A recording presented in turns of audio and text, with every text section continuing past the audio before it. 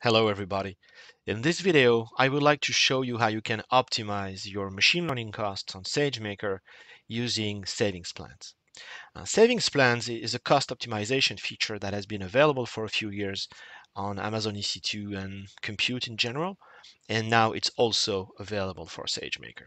Okay, so let me show you how to get started. So first you go to the cost management console, okay, and you select that saving plans uh, entry. If you're not familiar with uh, what savings plans are, there's an overview here. Okay, and, and we'll see how those plans actually work, uh, how to select the, uh, the hourly commitment uh, on a one year or three year period, how much upfront we want to pay, etc., etc. If you're familiar with savings plans on EC2 and compute, this is really, really similar. So you, you know you won't be uh, you won't be thrown off. Okay. Uh, so feel free to read all of this to become familiar with savings plans. And haha, okay, this is the good part. Uh, I can save a bit on compute and, and, EC2, but it looks like I could save a lot on SageMaker. Okay, so um, let's see what this is. I can click on this and it actually takes me directly to the recommendations. Okay, so the recommendations actually look at my past SageMaker usage and they're going to recommend uh, a plan um, that maximizes my savings. Okay, and I can select this plan or I can create my own I, as I will also show you. Okay, so let's try to make sense of uh, this uh, this plan here. So obviously make sure you select SageMaker. Okay, this is the one we want.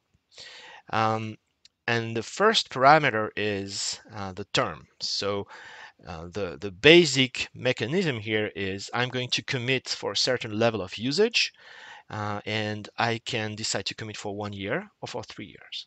Okay, so let's start with one year. Then I can decide whether I want to pay upfront for this usage. So I'm going to pay in advance for that uh, commitment, right, over the one year period. Um, and if you pay all upfront, uh, you, you'll get a, a better discount. Um, you can select partial upfront or no upfront, okay, meaning you don't pay anything at all. Okay, partial upfront means at least 50%. So let's try with no upfront first. Okay, and then we see um, the time period on which the recommendation is defined. So you should select the, the time period that looks like your future usage. So if you've just started using SageMaker and or you've been ramping up massively, maybe you've been experimenting for a few weeks and now you know for a, a week now you've been uh, in production at large scale then you know seven days is probably good uh, if you've uh, already been using sagemaker over a longer period maybe one month or two months then feel free to select those okay? So again that past usage should look like uh, your future usage okay? So let's just say i'm using sagemaker all the time so let's just pick 60 days. Okay and then scrolling down here I can see um, so how much I'm currently spending on SageMaker on demand, so a little more than $5,000 per month. Yes, I'm, I am running a lot of SageMaker, and that means uh, $7.3 per hour. Okay. And if I actually use the plan that is recommended here, I will spend uh, 4.4k uh, dollars. Again, this means about six point uh, yeah six about six dollars per hour okay? And so I'm going to save about just a little under $900 per month. Okay? And so what this means is uh, it's about 17% savings compared to on demand right? As you can see here. So by just committing to uh, uh, a certain level of usage, uh, and, and we'll see that commitment below, uh, for over one year and no upfront, I'm saving 17%, just like that, okay? So our commitment here would be $3.793 per hour, okay? Um, and as you can see, we leave out an average $228 per hour for extra on demand. So we're not optimizing 100% of the existing on-demand usage that we see here because you know it's likely there will be some some variations. So uh, you know if if your usage drops a little bit compared to those 60 days then you know your commitment would be too high. So uh, we go for a slightly lower commitment and we keep that buffer on demand spend uh, to account for you know variations so that you avoid overcommitting. Okay so um, so this is uh, the only thing you have to do really, and of course you can uh, you can try other parameters. So let's try three years, and of course you know three years is a longer commitment. So we would get I don't know 36% savings now, okay, which is uh, which is really good, um, and we could see the updated uh, commitment here, of course, and we could experiment with you know upfront um, and see how far we could go. So if we decided to pay everything up front, then we could go up to 40% savings. Okay. So it's really for, you know, it's up to you to decide, you know, if you want to pay uh, in advance. And, and some organizations actually prefer that because uh, for budgeting uh, purposes, you know, they prefer, you know, upfront payments. It makes it more, uh, you know, predictable and, and easier for them to, to track their spend. And um, and you know, some organizations will prefer no upfront uh, because they're uh, they're happier, uh, they're happier that way, right? They're just want to minimize uh, upfront payments. Okay, so that's quite flexible, and you can you can find the plan that works for you. Okay, okay. So let's say you know, let's say I want to go for one year and no upfront, um, and I'm I'm already happy with that, and I could just add the plans to the cart. Okay, and I could just go to my cart here. And I would just, you know, purchase this, send my order, and uh, and that's it. Okay, and there's no upfront payment here, as you can see.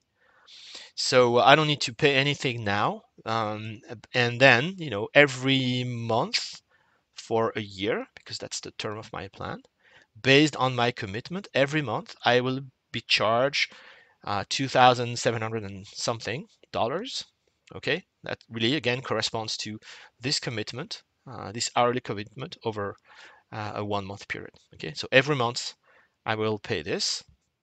And I will also pay, of course, uh, any extra on-demand usage. Okay, remember we kept that buffer. Um, so um, if you actually use more than your commitment, this will be charged at the on-demand price. Okay. All right, so I could just submit submit this order, and and this would uh, this would start saving me money, right? And quite a bit of money actually. Okay, now let's say, um, let's say I'm interested in trying my own plan, okay? So instead of using those recommendations here, right? I want to create my own. So I can see my current on-demand spend is six 0.54 oh let me go back to 60 days maybe yes. So we'll have the same number. So it's 7.3 dollars per hour. Okay.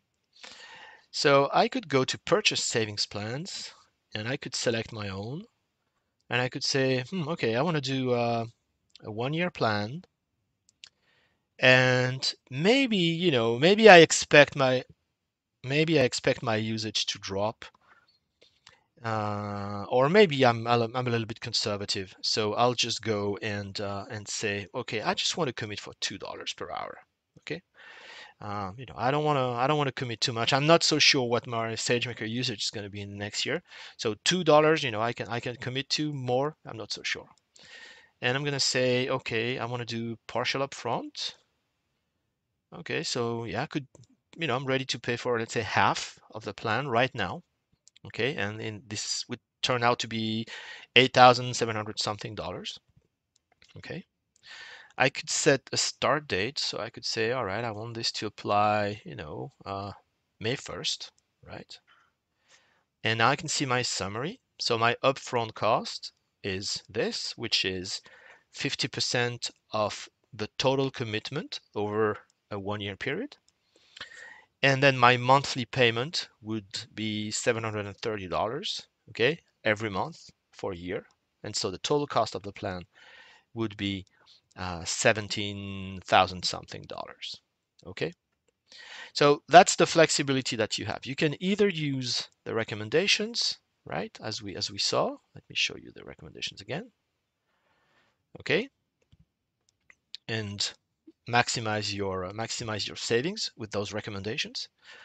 Or you could go and you know build your own and uh, and commit for the uh, commitment that you want to set. You can go as low as uh, I think the lowest, yes, the lowest is point zero zero one dollars. Okay, so that's a super super low commitment, and and you can you can build a plan that you want.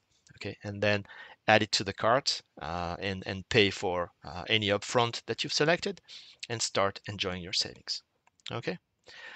All right. Well, as you can see, this is uh, this is a really uh, this is a really simple thing. It's uh, it's also very uh, very efficient at, at optimizing your costs. Okay, again, you know, no upfront uh, on over one year, and I could save 17% already.